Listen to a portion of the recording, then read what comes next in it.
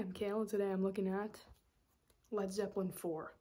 Led Zeppelin 4 was Led Zeppelin's fourth studio album, released November 8th, 1971. And this album initially was just never given a title, well not initially, it was never given a title, but following the theme from the previous three albums, they just decided to name it Led Zeppelin 4. Not they, people did. Personnel is Robert Plant on vocals and harmonica, Jimmy Page on electric and acoustic guitar, and he also produced the album, and JP Jones on bass, synthesizers, recorders, and mandolin, and John Bonham on drums. Additional musicians is Ian Stewart, who we talked about in Let It Bleed, and he plays piano on this album. And Sandy Denny, who does co-lead vocal on the Battle of Ever Evermore. But anyway, let's get into into the recording.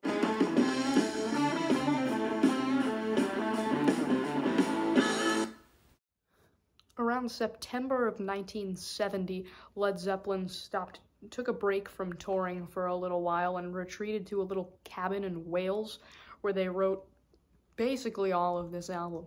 It was recorded from like around December to February, December of 1970, and then to February of 1971, because that is how years work. And it was recorded and mixed primarily in the Rolling Stones traveling studio, which if you don't know is just a van with recordings like equipment in it, um, created by the Rolling Stones in 1968 and like bunch of different famous artists recorded in this thing. Bad Company, Dire Straits, The Who, The Rolling Stones, if you could believe it. They also almost recorded this album at Mick Jagger's house. Don't know why I thought that was funny, because it's not really. I just think it is. But yeah, beginning's not a very meaty part of this video. Let's get into the track-by-track -track breakdown of Led Zeppelin 4.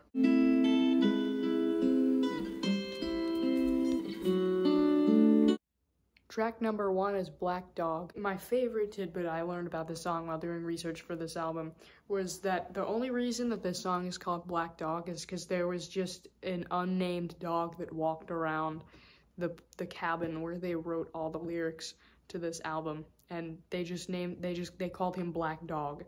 And so they named the song Black Dog. I'm assuming they called this dog Black Dog because it was black. Unless there's an insane plot twist and we find out that this dog is actually orange.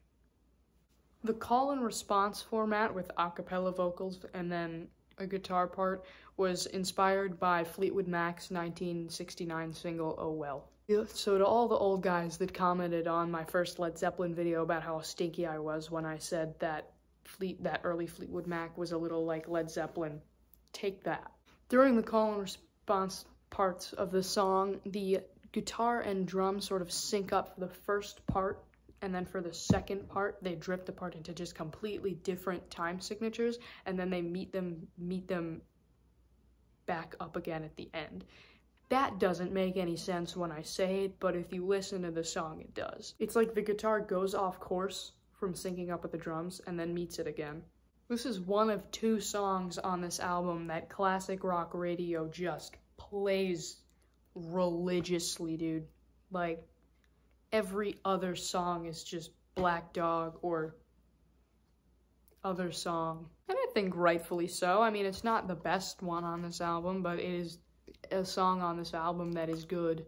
Track number two is Rock and Roll. Rock and Roll is the song that Ian Stewart plays piano on. Ian Stewart is a session musician who's played primarily with the Rolling Stones. Apparently, Rock and Roll just started as a jam um, session from like that spun off from playing a Little Richard song and then they added lyrics to it. Yeah, Jimmy Page just liked this jam they had so much that he decided to turn it into a song on the album. And it's formatted like an early 60s or mid to late 50s rock song like Little Richard for obvious reasons.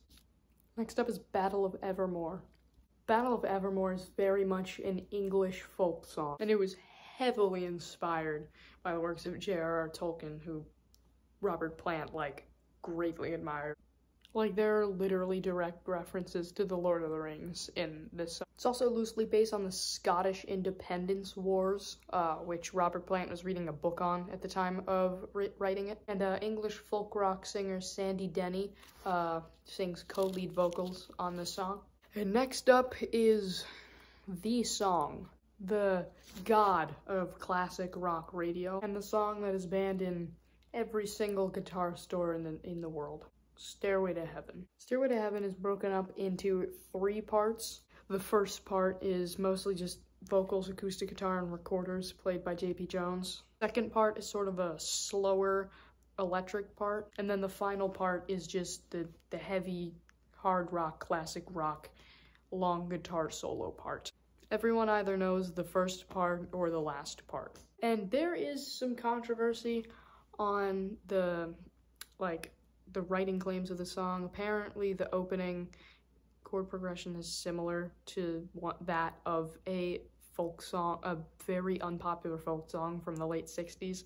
And like, even if, if like, it doesn't sound super similar, but like, even then, it's a pretty common, just, like, chord progression.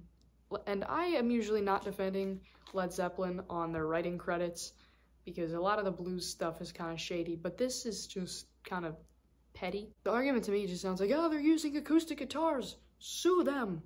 We use them first. The guitar solo on Stairway to Heaven was played on the classic Jimmy Page 59 Telecaster that was given to him by uh, Jeff Beck um, after he left the Yardbirds. The song was introduced live at a Led Zeppelin concert in like March of 1971 and this was a pretty long time before it was released, just uh, like a few months before it was released. Um, and people hated it. so but the funny thing is, is that it was played at literally every single Led Zeppelin live, sh live show after this album was released. And that's not even like a hyperbole or an overstatement. They literally played it at every single live show unless the show was cut short. And had time to fit it in at the concert that John Bonham died at in 1980. No problem with Stairway to Heaven. It's a good song. I just think it's overrated. I think most people who have heard Stairway to Heaven think that too. The only reason it's so famous is because a disc jockey was bet like a lot of money that he would play Stairway to Heaven on a uh, on his radio station, and then he did, and then people liked him doing that. Led Zeppelin never even released it as, as a single. It literally became this popular because of that one disc jock. Anyway, moving on to side two. Opening up side two is Misty Mountain Hop. Misty Mountain Hop is also probably based off of Tolkien's work.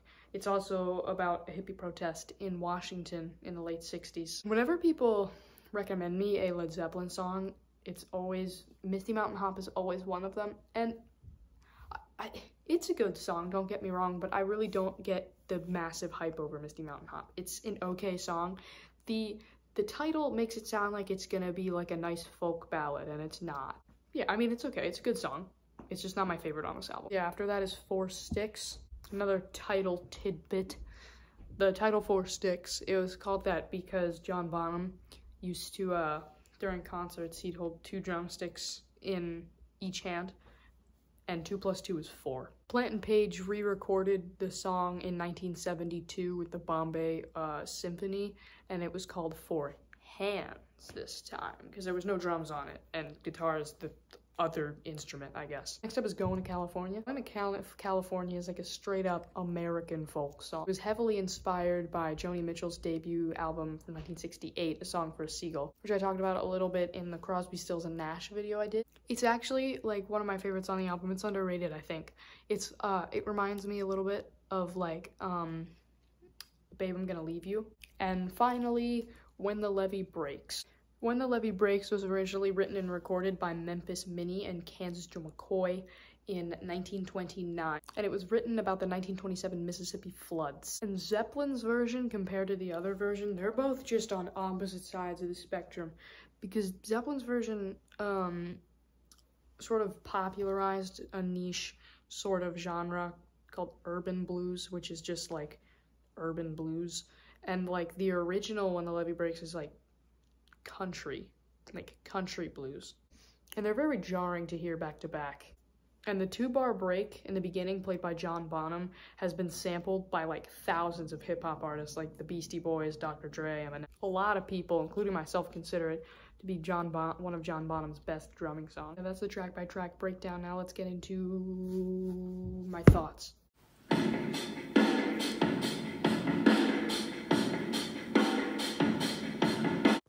This is my favorite Led Zeppelin album. I said it I said it before in the Led Zeppelin 1 album, but this one is my favorite. The only song I'm not a fan of on this album is Misty Mountain Hop. And I like Misty Mountain Hop too. It's not even like I dislike it. It's just not my favorite. Like usually I won't even skip Misty Mountain Hop. Like so this album is technically a no skip. Also not really my thoughts, but I just feel like I have to say it. This is an original um, copy from 1971 and it's in like pristine condition. Also, I really love the back cover and I don't know why. I personally think that this was the last great Led Zeppelin album. Houses of the Holy was pretty good and then everything out after that was not. Except for Physical Graffiti. I forgot about Physical Graffiti for a second, but uh, because I kind of grouped that in with the first four. I bet I just made a lot of old people very mad momentarily. But yeah, that was Untitled Led Zeppelin 4. Uh, thanks for watching. Goodbye, bozos.